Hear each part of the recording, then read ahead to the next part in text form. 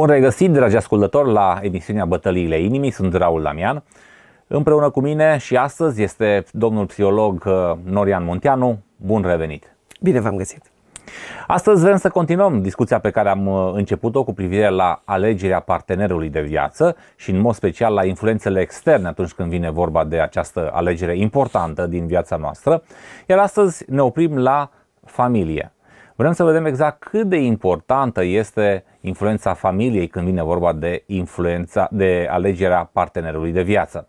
Uh, chiar ar trebui să implicăm și familia atunci când vine vorba de alegerea partenerului personal de viață?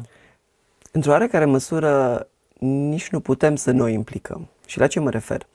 Uh, modul în care suntem crescuți, suntem educați, influențează la nivel inconștient alegerea, sau poate chiar conștient, alegerea partenerului de viață. Așa că familia este o influență foarte importantă în alegerea partenerului, dar poate nu în modul în care ne așteptăm.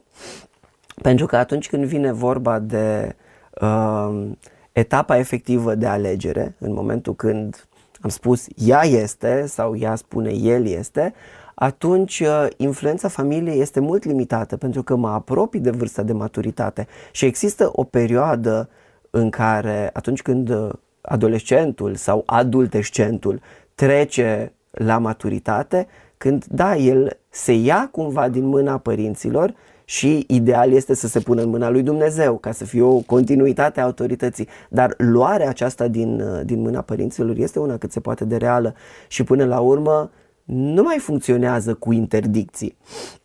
Dar. Uh, Bun, vor fi uh, tineri care vor zice, dar nu zice Biblia, Dumnezeu că uh, va lăsa pe tatăl său și pe mama sa. Adică, când zici va lăsa, îi lasă în urmă, nu mai interesează. Sigur. Și este cât se poate de corect, pentru că sunt o groază de probleme care apar atunci când, uh, în special când bărbatul nu poate lăsa familia de origine în urmă și a se uh, și a deveni una cu soția lui și a forma o altă familie. Atunci când nu există această separare, sunt o groază de probleme. Dar acum vorbim de alegere, uh-huh. de efectiv de procesul de alegere. Și uh, de ce aș implica pe părinți în alegerea partenerului? Hai să o luăm în felul următor. Au părinții anumite lucruri în uh, familie, au insuflat anumite lucruri în familie pe care să mi le doresc și eu în familia mea? Și răspunsul poate să fie da sau poate să fie nu. Nu am pretenția să fie doar într-o direcție. Dar dacă sunt anumite lucruri pe care vreau să le preiau din familia de origine în familia mea, adică dacă au făcut părinții ceva bine, poate ar fi interesant să aud și părerea lor. Și când zic de părerea lor, nu mă refer la uh, o decizie unanimă, adică trebuie toată lumea să fie de acord dacă unul are ceva de obiectat, pică totul, nu. Pentru că este nevoie de, de multă înțelepciune din ambele părți, și din partea tânărului, respectiv tinerei, și din partea familiei. Și să vedem de ce. Um, este clar, niciun partener nu va fi suficient de bun pentru copilul meu. Și acum vorbesc la modul personal, din numele meu, și, în general, aceasta este atitudinea părinților. Acum, și tu, Raul, tu ai două fete. Sunt convins, niciun băiat nu o să fie suficient de bun pentru ele. Nici o fată nu va fi suficient de bună pentru băiatul meu. Dacă mergem exclusiv pe această pornire, una cât se poate de naturală și caldă, pentru că ne dorim cei mai buni pentru copiii noștri, dacă urmăm această pornire până la concluzia ei, înseamnă că vor rămâne cu toții singuri. La un moment dat acceptăm și ce acceptăm? Acceptăm atunci când vedem potențial. Dar în momentul când nici măcar potențial nu vedem, atunci este un semnal de alarmă. Și este important ca și familie să tragem acel semnal de alarmă, cum? Cu blândețe. Pentru că se întâmplă ceva și îl observăm din adolescență acest efect. În momentul când eu ca părinte împing prea tare într-o anumită direcție, care este riscul? Să se facă exact contrariul.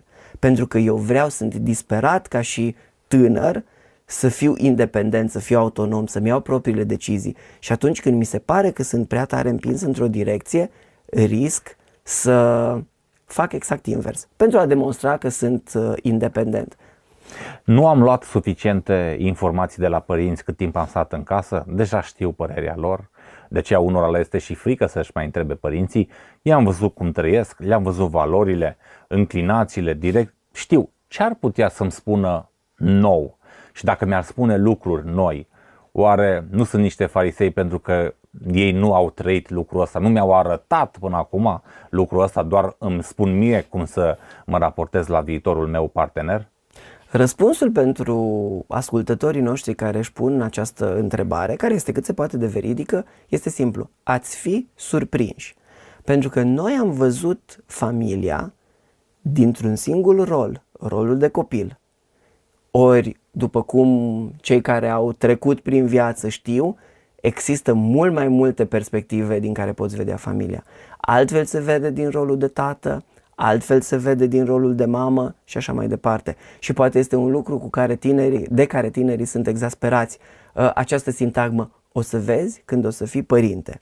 Cu toate că e foarte mult adevăr acolo, doar că eu ca și tânăr, înainte de a ajunge în acea perioadă, n-am cum să văd, n-am cum să știu. De aceasta, am, din acest motiv am nevoie de informații și am nevoie să mă pun la masă cu părinții și să discut din cu totul altă perspectivă, poate pentru prima oară, ca de la egal la egal, ca de la adult la adult, pentru că până atunci a existat dialogul și raportarea cât se poate de naturală și bună de părinte și copil.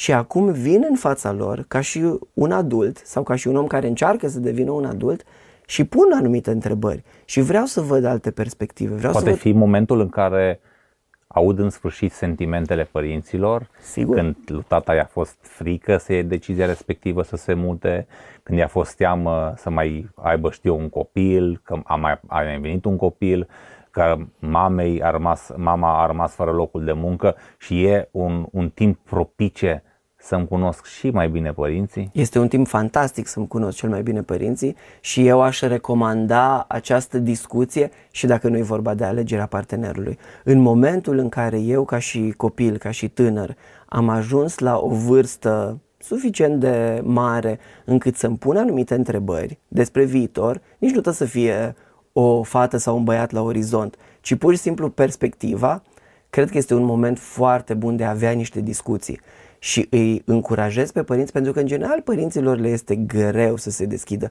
În general părinților este greu să navigheze acest lucru pentru că nu este sănătos nici copiii să devină confidenții noștri. Trebuie să existe. Unele lucruri trebuie să rămână în bucătăria familiei, între mine și soția mea, categoric. Dar unele lucruri necesită deschidere și când vine vorba de temeri, de greutăți, de cum am reușit să fac față anumitor lucruri sau cum n-am reușit să fac față. Este cel mai bun loc de unde pot învăța aceste lucruri. Și este uh, ceva ce recomand cu foarte mare tărie în ședințele de terapie. Le recomand în special uh, băieților să meargă și să vorbească cu tații lor. Și răspunsul este inevitabil, de fiecare dată n-am avut un răspuns diferit, este, dar nu-s curios. Ei bine, ar fi foarte bine să devin curios.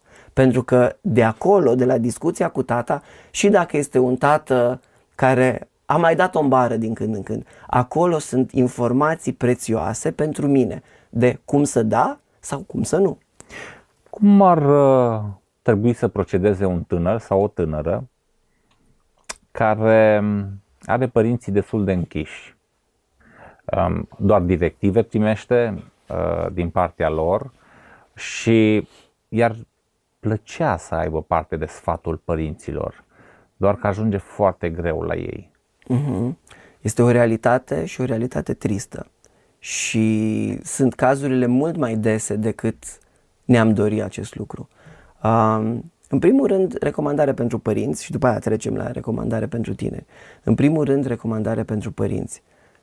E incredibil de importantă relația. Și pentru a avea o relație cu copilul meu care devine adult, este nevoie de un pic de deschidere, trebuie să dau și ceva de la mine. Și da, e, e un pericol să doară, pentru că, uh, în special tinerii la vârsta aceasta, sunt, uh, să zicem, destul de, de lipsiți de experiență în gestionarea emoțiilor. Și s-ar putea să fie foarte incisivi, s-ar putea să fie atât de interesați, pentru că e o dorință, o dorință de a afla ce se întâmplă, ce e acolo, cum funcționează și s-ar putea să fie dureros, dar uh, expunerea este importantă și îi încurajez pe părinți să meargă în această direcție. Dar eu zic că o bună parte din părinți și-ar dori genul ăsta de interacțiune. Dar probabil că sunt și părinți care, poate care au un trecut greu, care au suferit foarte mult și nu vor să mai reviziteze acele zone. Și atunci uh, este mai greu din ambele puncte de vedere. E nevoie de mult tact și de multă înțelepciune de ambele părți. Dar ce am putea face? Să zicem că nu se poate. Să zicem că nu se poate sub nicio formă, părinții sunt niște uși închise. Ce păcat până la urmă. Dar că nu am această posibilitate, atunci mai rămâne o variantă.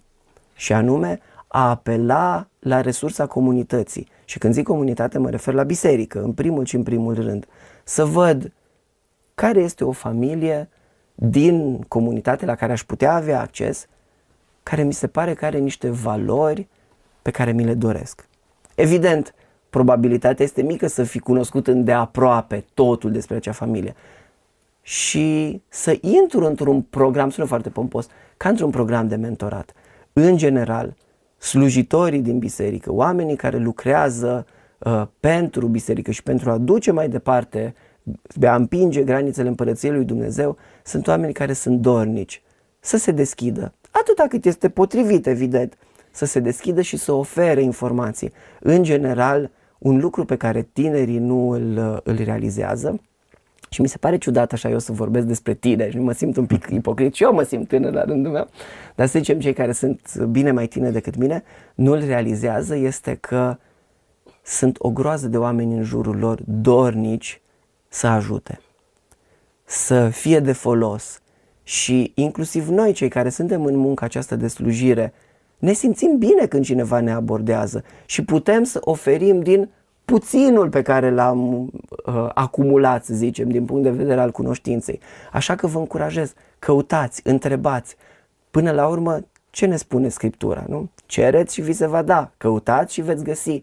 Sigur există variante, trebuie să existe doar dorința și un pic de semnalizare. Pentru că cu toți am ajuns să fim poate speriați de tineri și adolescenți, că nu vrem să-i supărăm, îi tratăm așa ca uh, pe niște obiecte foarte prețioase. Și sunt, dar nu obiecte, sunt oameni prețioși, dar uh, cred că au nevoie de un pic de ghidaj.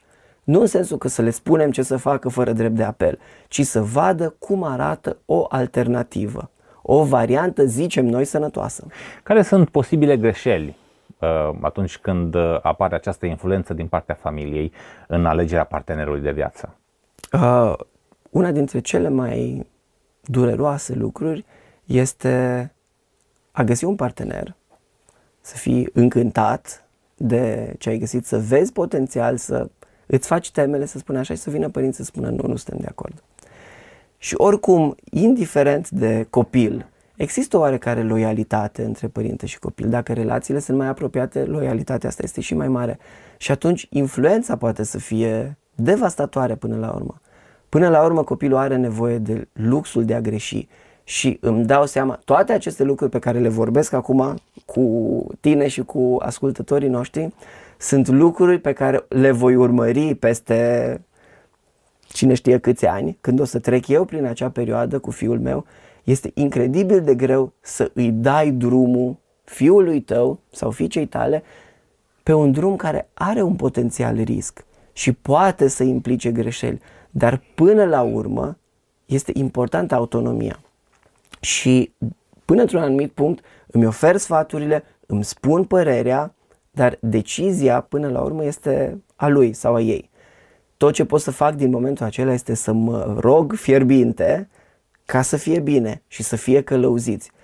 Uh, pentru că se întâmplă niște lucruri interesante și iarăși folosesc din experiența uh, mea de familie. La începutul relației noastre și la începutul căsniciei noastre, părinții și de o parte și de alta ne-au dat sfaturi, sfaturi foarte bune. Și s-a întâmplat ceva foarte interesant. Nu le-am băgat în seamă. Și după o perioadă destul de lungă de timp, am ajuns noi la niște concluzii foarte asemănătoare cu sfaturile lor la început, dar a trebuit să ne dăm cu capul de, cât, de câțiva pereți, să batem la câteva uși închise, să pășim pe niște drumuri nepotrivite. Nu sunt încântat și mândru de lucrurile acestea, dar s-au întâmplat.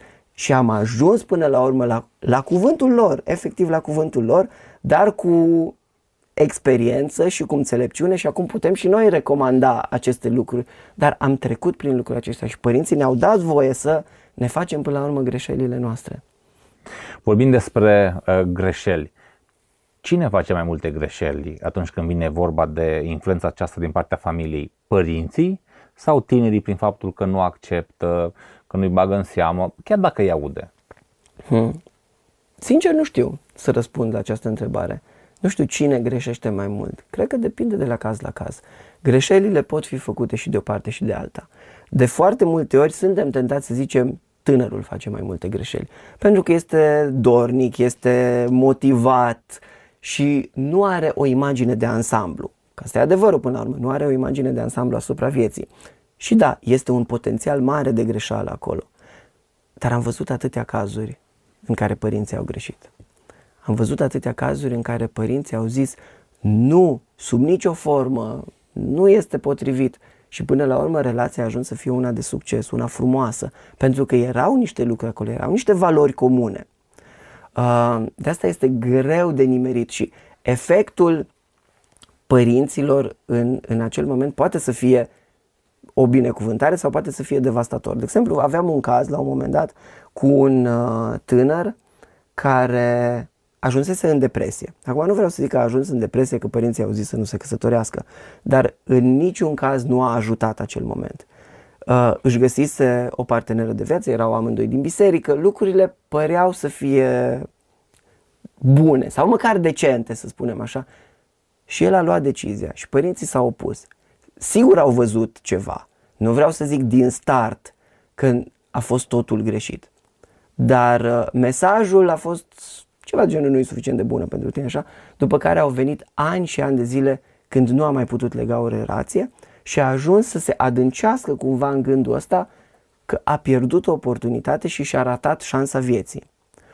O mentalitate greșită, categoric, nu și-a ratat șansa vieții, dar s-a adâncit atât de mult în acest, în acest gând, încât foarte, foarte greu a putut lucra la această idee și să se îndrepte din nou spre căutarea unui partener. Deci efectele sunt cât se poate de serioase, dar n-aș putea spune că unii greșesc mai mult decât uh-huh. ceilalți. Până unde să las familia să se implice în uh, alegerea uh, propriului partener? Uh, cred că la nivel de îndrumare, sfat, discuții, uh, nu doar că este bine, este foarte bine și este înțelept. Este înțelept să văd ce cred bătrânii, până la urmă, bătrânii mei, cei care văd lucrurile de ansamblu, dar aștept ca aceste lucruri să fie și motivate, să mi se și explice. Din punctul ăsta de vedere este unul foarte bun. În momentul când familia încearcă să controleze uh, direcția prea mult, pot apărea lucruri grave. Și un exemplu foarte uh, simplu de control al familiei este uh, noi nu venim la nuntă este noi nu te ajutăm cu bani, de exemplu. Noi nu facem asta, asta și asta. Cât de dramatic poate să fie acest lucru. Indiferent care este părerea ta ca și părinte, în momentul când copilul alege să-și unească viața în fața lui Dumnezeu cu un alt om, cu o altă fată, dacă e băiat, respectiv invers, e bine, e bine să fie acolo. Nu e bine, e imperios necesar să fie acolo. Și indiferent ce alege, până deci, a, a trecut partea de sfat, de discuții, de uh, chiar îndemnuri până la urmă, în momentul când încerc să, să ameninț practic cu a-mi retrage afecțiunea și a-mi retrage ajutorul, acesta este, acesta este o greșeală. Până la urmă sunt acolo pentru copilul meu cât timp are nevoie de mine și vreau să ajut, nu să încurc. Până la urmă, dacă mă interpun în calea vieții lui, încurc. Și așa începuturile de căsnicie sunt grele. Nu are nevoie de încă o povară. Dar sunt situații în care, spre exemplu, băiatul își găsește o fată, doar că în mintea părinților există deja o altă fată pentru băiatul uh, lor și încearcă uh, la început mai ușor, dar apoi un pic chiar forțează uh, nota Uh, să renunțe la, la relația cu fata respectivă și să accepte propunerea uh, părinților. Bineînțeles, motivele sunt, uh, pot fi multiple. cum poate să facă un tânăr uh, față acestei presiuni, că este o presiune, pentru că vorbea că există totuși o relație între, între copil și mm. de loialitate între copil mm-hmm. și părinte. Mm. E bine, greu pentru acel tânăr. Un, are de făcut un lucru foarte greu și având în vedere că m-ai ajutat un pic și mi-ai dat uh, uh, această informație că el este bărbatul, până la urmă el este cel care trebuie să își asume că păstrează relația sau că o încheie, până la urmă este alegerea lui, dar uh, este necesar de a intra în rolul de bărbat și de a își asuma decizia până la urmă. Pentru că nu părinții vor fi cei care vor împărți viața cu fata respectivă, ci el este cel care va clădi un viitor pentru familia lui și din nou, repet, este ceva ce merge spre veșnicie. Cu cine vrei să fii în drumul ăsta? Cu cineva uh, pe care îl vor părinții, care are toate steluțele din partea părinților sau pe cineva cu care vezi că poți lucra și vezi că poți clădi și vezi că poți avea parte de binecuvântare. Cum uh, ar trebui să se raporteze un tânăr în momentul în care atât părinții uh, și prieteni, dar în mod special părinții, uh, îi arată faptul că partenera, partenerul are niște defecte foarte mari de, de caracter. El le vede sau ea le vede, numai că îi spune îl, îl iubesc, îl iubesc. Ce ar trebui să facă într-o astfel de situație? În primul rând să rămână cu ideea fermă, pentru că dacă sunt niște lucruri așa de flagrante, trebuie menționate din nou și din nou și din nou. Și a merge, aș, aș face o sugestie, asta e o sugestie așa foarte terapeutică, până la urmă, dacă și fata sau băiatul vede aceste defecte și zice da, îl iubesc, întrebarea mea este ce-i de desubt. Pentru că, în general, ceva este de desubt. Primul lucru la care mă gândesc eu este următoarea idee. Dacă nu o să mai găsesc pe altcineva. Eu am o suspiciune că nu sunt suficient de bun. Toți pornim, ăsta e startul nostru. Nu suntem suficienți de buni și într-o oarecare măsură e adevărat că de asta avem nevoie de Hristos. Uh, dar avem această suspiciune și ideea, în special la primele relații, este dacă nu mai găsesc pe cineva. Dacă nu mai găsesc pe cineva care să mă iubească, eu știu că sunt cu multe defecte și cu multe probleme și poate nici nu-mi place de mine în mod deosebit. Dacă nu mai găsesc pe altcineva și atunci ce fac? Tind să fac soluția, să apelez la soluția aceasta de compromis și să accept ce vine sau ce este. În special fetele sunt mai, uh, mai vulnerabile la acest lucru, dar nici băieții nu sunt scutiți. Și atunci treaba familiei este una foarte grea și anume de a ajuta la reclădirea acestei persoane și de a merge cu asigurări și a, a pune suficientă siguranță încât să poată lua decizia de a înțerupe acest gen de relație pentru că ceva mai bun va veni până la urmă. Aș vrea acum la finalul emisiunii să lași un gând pentru familiile care, iată, au un băiat sau o fată care e într-o relație de prietenie și există acolo uh, un început de dialog sau poate că o dorință de dialog. Uh-huh. În primul și în primul rând știu că nu e suficient de bun pentru copilul vostru, indiferent de ce parte pică. Sunt convins de lucrul ăsta. În al doilea rând, relația este incredibil de importantă și copilul are nevoie mai mult, poate ca niciodată, de susținerea familiei. Și susținerea nu înseamnă neapărat să fiu de acord cu orice, ci să fiu să ghidez și să îndrum cu blândețe, cu dragoste, cu fermitate, dacă este nevoie, evident, dar până la urmă să nu renunț la relație doar pentru a avea dreptate. Pentru că de atâtea ori se întâmplă, în special în rândul copiilor, să fugă de anumite lucruri bune și responsabile doar de teama că părintele o să-mi zică N-ți am zis eu? Ai văzut până la urmă? Și atunci urmăresc dreptatea mai mult decât relația. Până la urmă suntem chemați să le reprezentăm pe Dumnezeu în fața copiilor noștri în orice moment. Și încurajarea este deschidere, rugăciune în primul și în primul rând, ghidarea din partea lui Dumnezeu, de asemenea în primul rând, dar deschidere față de dialog. Atâta timp cât există dialog, cât există comunicare, lucrurile pot fi în permanență îmbunătățite și îndreptate. Mulțumesc tare mult și astăzi psihologului Norian Munteanu pentru explicații, pentru gânduri, pentru sfaturile oferite ascultătorilor noștri. Am vorbit astăzi despre uh, alegerea partenerului de viață și în mod special despre influențele externe și astăzi ne-am oprit la familie. Vă aștept și pe data viitoare.